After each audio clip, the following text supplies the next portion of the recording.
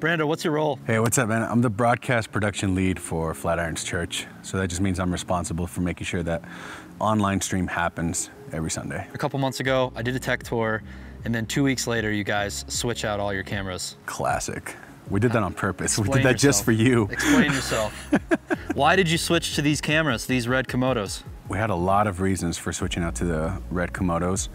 We were actually looking into a bunch of different cameras for about maybe six months. Uh, C500s, Sony FX9s, looking at a bunch of different brands. But our whole team decided to start chasing after this ARXR Unreal Engine environment using our giant LED walls and making sure they look as good as possible. So when we brought these in for testing on Christmas, they look nice. So now we have 12 red Komodos.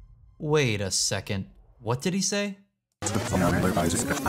Our whole team decided to start chasing after this ARXR Unreal Engine environment using our giant LED walls. I asked Brando a simple question why did they switch to red cameras? And then next thing I know, he's talking about AR, XR, Unreal Engine. I've never heard of these things before. So let's get a bit more context on the story behind all this from their live video director, Bobby.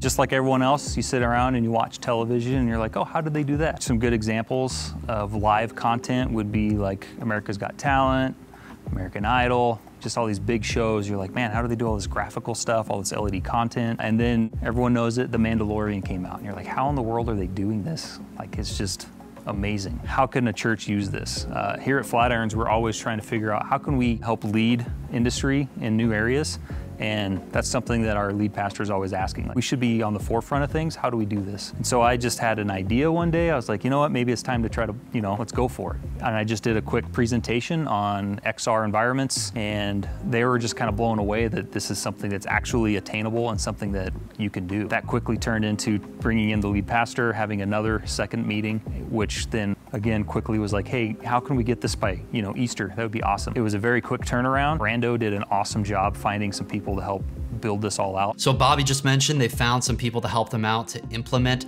this idea for their Easter worship gathering. Those people are the folks at Events United. They are a full service event production company that uses cutting edge technology to define experiences that go far beyond the conventional. And boy, oh boy, they are right about that. Early on, Flatirons wanted to do something special for their Easter service. A lot of people use, you know, video or photos um, to get across their, their message for the pastor of the day of, but uh, Flatirons Church really wanted to push the envelope on the technology side um, to help aid the story that, uh, that the pastor Jim was trying to get to. Creating these worlds digitally, you, you, know, we, we create them in a way that, you know, there's still kind of this randomness like you'd see in nature. So, you know, there is a scene where, you know, thunder and lightning, you know, is happening and it's, it's striking down and, you know, a lot of those points in times it's random like it's completely randomly generated or procedurally generated so that you know when we're coming back and we're, we're rewatching the content it can be different every time. It's not like you're just playing back one one video file. It's fully immersive so that you know it's the randomization of things allows us to get stuff feeling like it's the real world. Um, if everything happened on cue, it, it, it, wouldn't happen perfectly and it wouldn't feel natural. Um, so when we're going back and we are creating these worlds, a lot of times people are just taking images that loop over and over again. But for us, we really wanted to feel like a storyline that started and ended uh, in, in a location. We started, you know, further back in the scene. And when, you know, Jim's talking about Jesus being in the garden, it's, it's really him and in that um, in that moment, you really feel like, hey, I, you know, I could see Jesus being here. And then as the camera pushes through, we start to see that there's there's this storm beginning to kind of generate, and and it's beginning to rain, it's beginning to thunder. So you know, we really wanted to create a moment in time where it felt like we were traveling back in time to witness, um, you know, what Jesus might have been going through from the beginning of that night until when that actual, you know, he raises from the dead three days later. Right from the get-go, you know, we, we sat down, we talked with the pastor, and we developed each and every one of these worlds based off of what he wanted and what, you know, his idea of the story was going to be. And it wasn't just like, hey, let's pick some stock footage and, and throw it up on the wall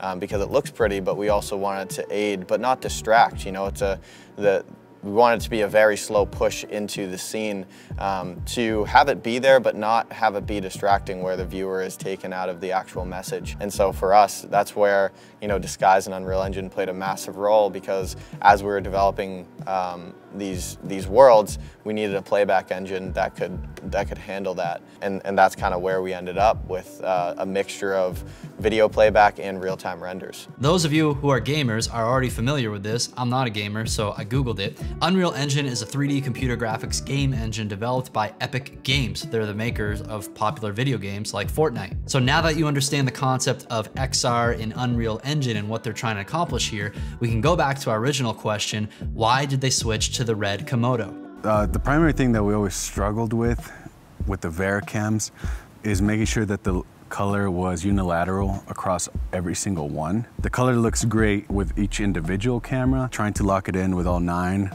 was really challenging. So that's the first thing is color is great on the red Komodos. And the second thing is once the Komodos are gen locked and you dip into that global shutter, the LED wall looks amazing. Most cameras have a rolling shutter, so that means that as they're receiving the image, they're receiving it slowly from bottom up. Global shutter, the image is the image that the camera sees. Every single frame is full. In a worship environment, it actually is pretty cool because there's times where there's flashing lights. It looks like what it looks like in real life. Uh, Gen lock is when you lock in your camera so that it matches frame by frame with other cameras. We have a giant LED wall and the LED wall can be gen locked. So it sends out, it, it's basically sending out patterns so that every camera understands, okay, at this point in the timeline, the wall is going to be flashing. And our wall flashes at 5994 or 60 FPS. And so all the cameras are locked in at that to make sure that there is no flicker on the back wall. So instead of getting the production package, we actually ended up doing something a little bit more for us. So we ended up getting these nice little red USB. This is the way that you're able to get static IP into the camera via ethernet because I believe you can do it through wireless, but we didn't want to mess with that. You have 4,000 people in here.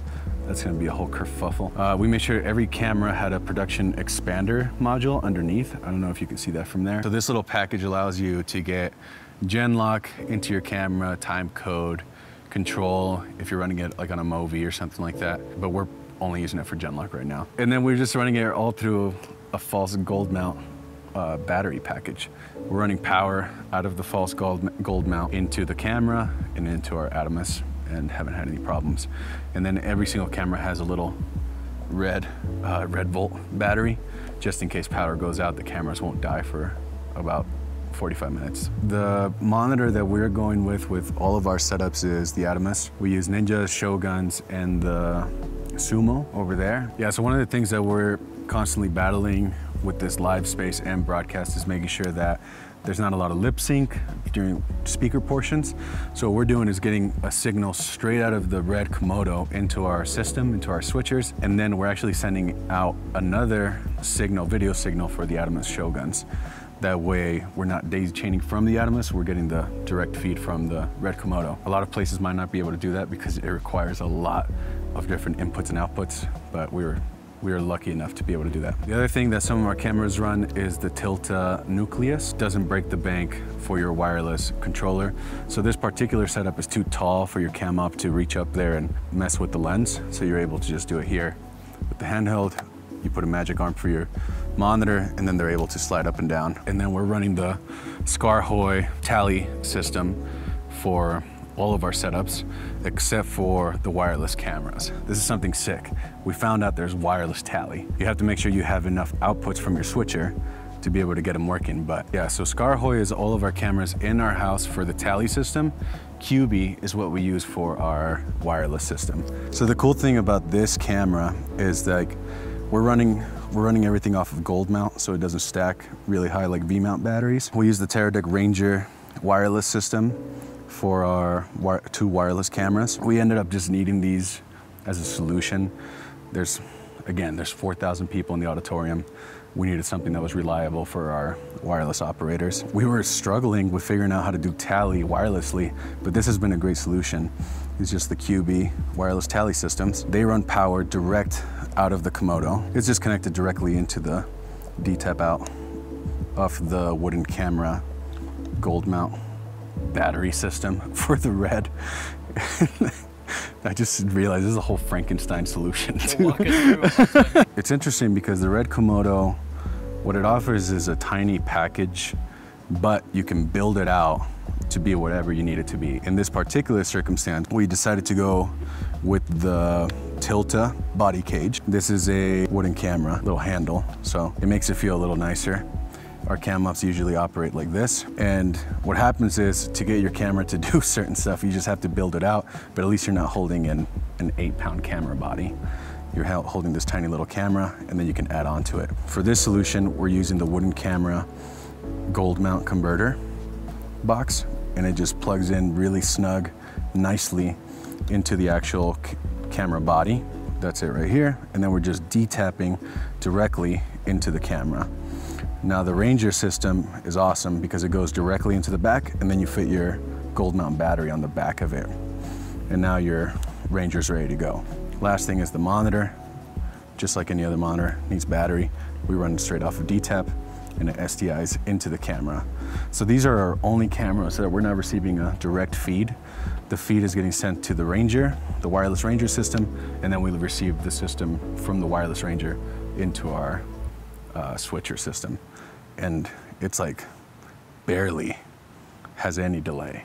It's fast. Yeah, so in November, uh, Matthew Carman from Red came out and was showing us a bunch of different cameras. He had the Raptor, he had the Komodos, and he was just kind of trying to see what we would think. So uh, me and my curiosity was like, hey, what would it look like to get nine of these in for December?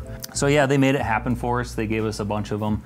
Uh, we had a, a Raptor and eight Reds, I believe uh, red Komodos. And instantly at campuses, we were told that everything just looked so much clearer and the colors were just so much better. Trying to ask people who don't do this for a living, like, can you explain that? They just, they're like, I don't know how to explain it. It just looks better. So whatever you guys are doing, it's amazing. We're like, oh, awesome. So I was, I was always a big Canon fan. And one thing I noticed when we switched from back in the day, I've been here a while, so I was here when we went from Canons to Panasonics and now we're at red. We noticed that the Canons color space would kind of lean more magenta, kind of reddish color.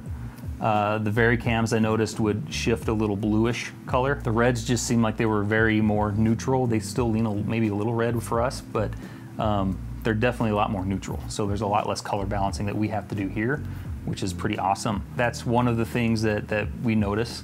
Uh, the sharpness of the image is another thing that's just incredible how sharp everything just feels. This is a 6K camera.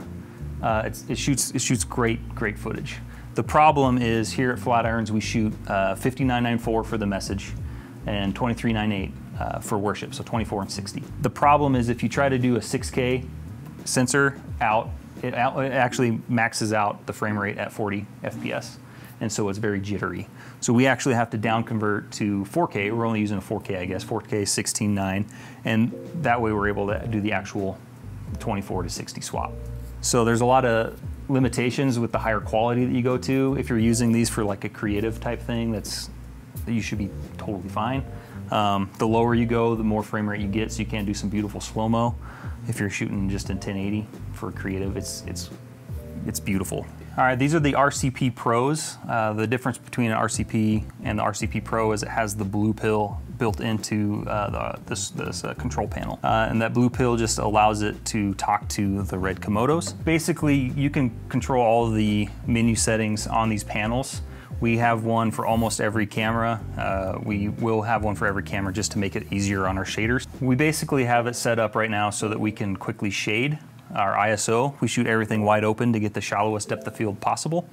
And we just have a one, one little knob that we switch back and forth uh, for the ISO. They also have the shutter angle, so if we want uh, to change that for any reason, we can. And we also have a preset for our 2398 and 5994. So as a shader, you're usually back here watching a false color monitor, and they just are able to quickly switch whatever they need to so the exposure looks looks accurate. So this is the VX4. This is the powerhouse, the backbone for uh, Disguise. Uh, does all the, the hard drive memory stuff, holds all the storage. Uh, this up here is the render stream. So this is how you do all of the um, playback uh, that helps carry that bandwidth. And then we also have a, the cheese grater up above to help with our lighting, playback videos as well. Just, just kind of extra in, in addition to all this. here in the room, having a 4,000 seat auditorium, having everything match with the side screens match what's happening on stage, the back wall matching what you actually see is really important. That's really why we went with the Komodo. And that's how we kind of got started with this uh, XR environment or AR or whatever you want to call it. We're kind of doing a mixed reality thing right now as we start stepping into what does AR look like? How do you do all this, these, uh, this new technology? How do you use it in a live environment? If you're in a studio space, we could do all kinds of crazy fun things. But in a live environment, how can we use this technology to enhance uh, the message that we're trying to send out? A huge thanks to the team at Flatirons Church for their innovation and their willingness to share what they've been up to. Because I remember when I watched that Easter service on YouTube for the first time, I was blown away by what I was seeing on that LED wall. And turns out there was a whole lot that went into making that happen. So thank you, Brando and Bobby and the whole team at Flatirons Church for just inspiring us all in implementing this new tech in your worship gathering. I also want to thank Red Digital Cinema for sponsoring this video and Matt, their sales rep for for the House of Worship for inviting me to capture what Flatirons has been up to. As you've already heard in this video, Matthew Carman with Red Cinema is the guy to contact if your church is interested in implementing Red cameras. You can get a hold of Matt easily by clicking the link below this video to contact him and he'll answer any questions you have about this process. Thanks so much for watching and I'll see you next time.